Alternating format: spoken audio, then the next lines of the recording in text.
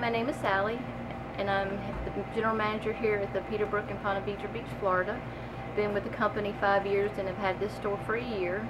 I'm originally from Spartanburg, South Carolina, and have been in the Northeast Florida area for 11 years now.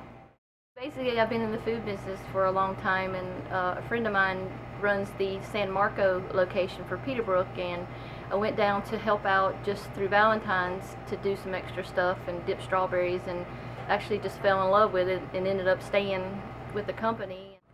So the reason I stayed and, and have been here for five years now is that um, really fell in love with the product and the concept. The Peterbrooke family are just really wonderful to be around.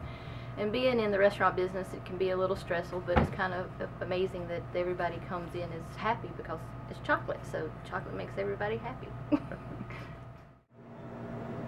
Happy holidays from Peterbrooke and Ponte Vedra.